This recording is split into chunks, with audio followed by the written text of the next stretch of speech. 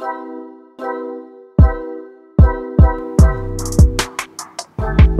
चीज़ दिखाऊँ आपको? देखो आप सुन सकते हो तो।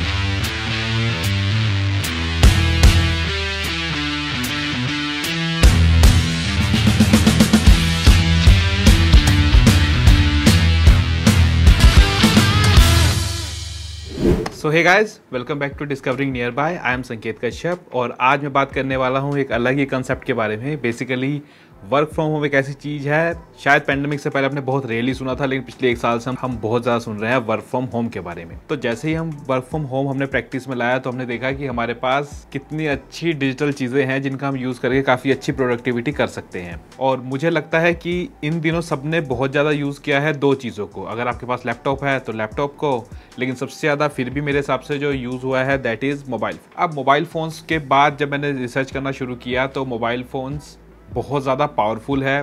वैसे तो मैं लैपटॉप आईपैड और आईफोन तीनों चीज़ें यूज़ करता था, लेकिन इस लॉकडाउन में मैंने ये महसूस किया है कि फ़ोन के अंदर बहुत अच्छे ऐप्स हैं जिनको हम बहुत अच्छे प्रोडक्टिविटी में तब्दील कर सकते हैं।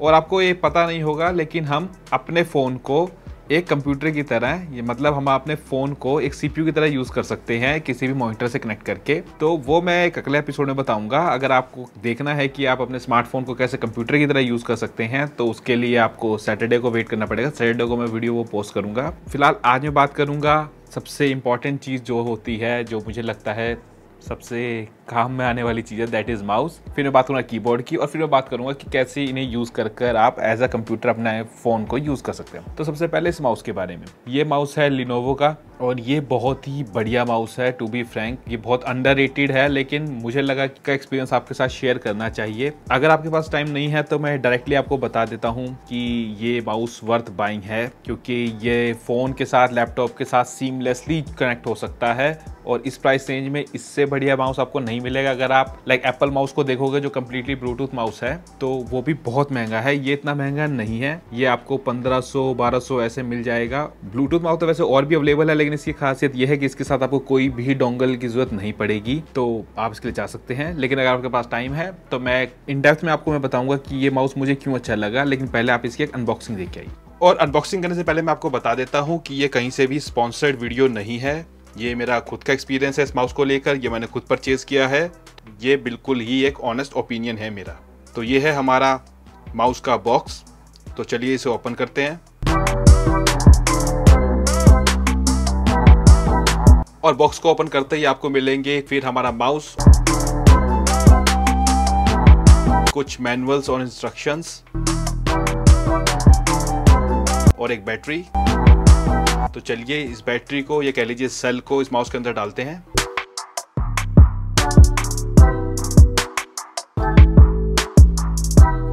और सेल डालने के बाद आप देख सकते हैं इसे ऑन करते ही हमारा माउस रेडी हो चुका है पेयर करने के लिए। इसे पेयर करना बहुत ही आसान है। सबसे पहले माउस के नीचे जो फ़र्स्ट और सेकंड ऑप्शन दिए है, आपको डिसाइड करना है कि आप अपना डिवाइस किस नंबर पर रजिस्टर करना चाहते हैं। आप उसे सिलेक्ट कर लीजिए, उसके बाद पेयरिंग का स्विच या इस पेयरिंग के बटन को दबा के रखिए और आप देखेंगे आपके डिवाइस पर ऑप्शन शो हो जाएगा पेयर करने का। आप उस पर क्लिक करके इसे आसानी से पेयर कर सकते हैं and you are ready to go तो अनबॉक्सिंग में ज़्यादा कुछ खास तो वैसे था नहीं, लेकिन फिर भी एज अ रिचुअल मैंने आपको अनबॉक्सिंग दिखा दी। अब सबसे पहले बात करते हैं इसकी बिल्ड क्वालिटी की। ये बहुत ज़्यादा प्रीमियम तो नहीं, लेकिन एवरेज माउस से दिखने में बहुत अच्छा है, और लाइक मुझे इसका डिज़ाइन बहुत ही अच्छा लगा। टू बी फ्रैंक मैंने उम्मीद नहीं गई थी कि इस प्राइस रेंज में ऐसे माउस भी अवेलेबल होंगे, क्योंकि मुझे लगता था कि आईपैड के लिए मुझे स्पेशल मैजिक माउस लेना पड़ेगा, जिसके लिए मुझे छः से सात हज़ार खर्चने पड़ेंगे तो मैं हमेशा कभी उसके फेवर में नहीं रहा। बट ये इस प्राइस रेंज में इसकी बिल्ड क्वालिटी बहुत अच्छी है।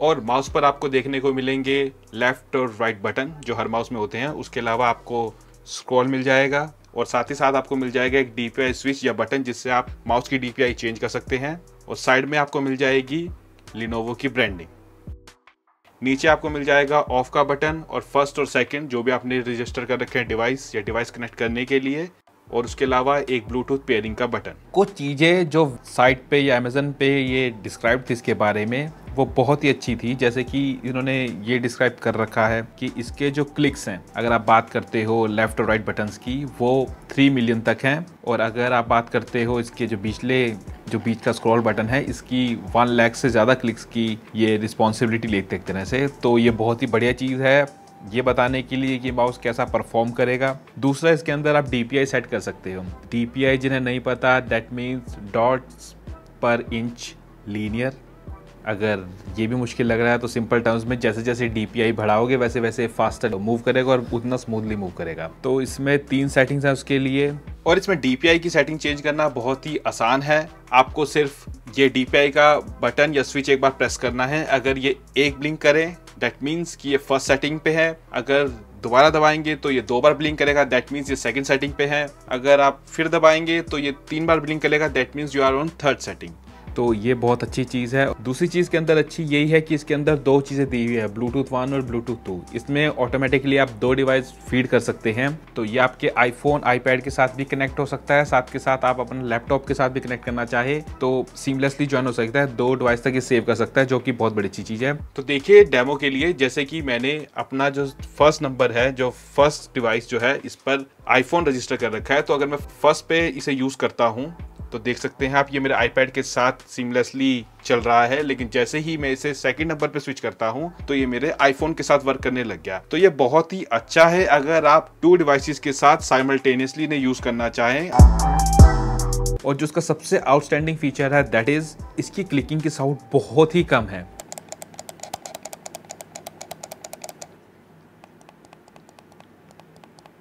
तो अगर आप वर्क फ्रॉम होम कर रहे हो और आप काम कर रहे हो तो आप नहीं चाहेंगे कि आपके साथ वाले डिस्टर्ब हो या इरिटेट हो टिक टिक टिक टिक टिक टिक के साउंड से तो ये बहुत कम नॉइज़ करता है। तो मुझे ये चीज़ अच्छी लगी कि ये बहुत सीमलेसली काम करता है, किसी को पता भी नहीं चलेगा, आप टिक टिक टिक टिक कर रहे हो रात को जाग के अगर आप मूवीज़ वगैरह देख रहे हो। प्लस पॉइंट है इसका, देखा? तो ये चीज़ बहुत अच्छी लगी इसके बारे में। दूसरा, बाकी सब ब्लूटूथ माउस की तरह इसकी और चीज़ें तो अच्छी है ही लाइक यूज़ करने में। और ये बहुत छोटा है, इसके साथ आपको कोई डोंगल कैरी नहीं करनी पड़ती और इस माउस का साइज़ बहुत ही छोटा है इवन आप इसे अपने पॉकेट में भी कैरी कर सकते हो, लेकिन मुझे नहीं लगता कि कोई भी आदमी अपने पॉकेट में माउस को कैरी करेगा। तो मेरे अकॉर्डिंग ये साइज़ इतना कॉम्पैक्ट है कि आप किसी भी बैग की पॉकेट में इसे आसानी से फिट कर सकते हो।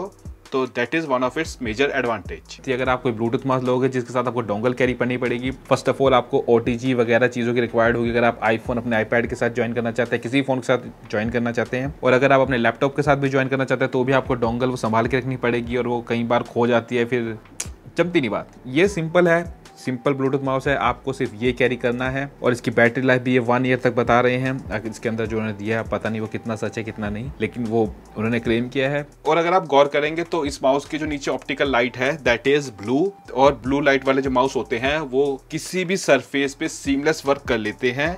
ये एडवांटेज है उन माउस के ऊपर जिनकी लाइट नीचे रेड होती है तो this is also one of its advantage और ये मुझे यूज़ करने में बहुत अच्छा लगा। माउस के फ़ायदे मैंने आपको बता दिए हैं। इसके ओवरव्यू में जैसे कि इसकी बिल्ड क्वालिटी, इसकी जो लो नाइज है, इसकी डीपीआई आप चेंज कर सकते हो, इसके साथ साथ दो डिवाइस फ़ीड कर सकते हो। तो इन सब के बाद इसकी खासियत ये सब है। अगर इसकी कौन सी बात करता हूँ तो मुझे लगता है बड़े हाथों के लिए छोटा होगा। ये बहुत बड़ा माउस नहीं है। अगर एक रेगुलर माउस को कंपेयर करूँ इससे तो ये उससे थोड़ा छोटा है। मतलब लाइक ये थोड़े बड़े हाथों वालों को, अगर मुझसे किसी बड़े हाथ हो तो शायद उसको थोड़ा सा इशू महसूस हो। वरना वैसे ये माउस बहुत अच्छा है। आप इसे ज़रूर यूज़ करके ट्राई दीजिए और ये आपकी प्रोडक्टिविटी में कहीं ना कहीं एनहांस करेगा। क्योंकि आप फ़ोन पे भी लाइक जूम कॉल्स कर रहे हो, कुछ भी कॉल कर रहे हो तो आप ऐसे ऐसे करने के बजाय या स्क्रीन पे ऐसे ऐसे उंगली दिखाने के बजाय आप इसके ऊपर से सीधा क्लिक कर सकते हो। तो मेरे अकॉर्डिंग ये एक वर्थ बाइंग प्रोडक्ट है। बाकी इसका लिंक आपको डिस्क्रिप्शन में मिल जाएगा। अगर आप मेरे कोई और भी प्रोडक्ट चेक करना चाहते हो तो मैं अमेजन इन्फ्लुएंसर अकाउंट में आप जाकर मेरे कैमरा वैमरा लाइट्स वाइट सबके बारे में आप जान सकते हैं।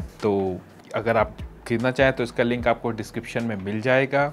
ओवरऑल एक अच्छा डिवाइस है। नेक्स्ट वीडियो में मैं बात करूँगा ब्लूटूथ कीबोर्ड के बारे में, जो मेरे अकॉर्डिंग बहुत सबसे बढ़िया एक ब्लूटूथ कीबोर्ड है। और उसके बाद मैं बताऊँगा इन्हें कैसे यूज़ करके आप अपने आईफोन को एज अ कंप्यूटर यूज़ कर सकते हैं। So this was all for today hope आपको वीडियो अच्छी लगी हो। अगर आपको वीडियो अच्छी लगी हो तो लाइक शेयर एंड कमेंट और हाँ इस चैनल को सब्सक्राइब कर दीजिए अगर इस तरह की थोड़ी अच्छी वीडियोस देखना चाहते हैं। तो मिलते हैं वर्क फ्रॉम होम सीरीज़ के पार्ट टू में मतलब एपिसोड टू में, जिसमें मैं कीबोर्ड के बारे में बात करूँगा। So, see you. Bye bye और अगर अभी भी आपके कोई डाउट है इस डिवाइस को लेके तो आप मुझे डीएम कर सकते हैं मेरी इंस्टाग्राम आईडी पे संकेत कश्यप, या फिर आप कमेंट में लिख सकते हैं जो भी आपके डाउट है, मैं बहुत जल्दी रिस्पॉन्ड करने की कोशिश करूँगा आपको। So see you next video till then bye bye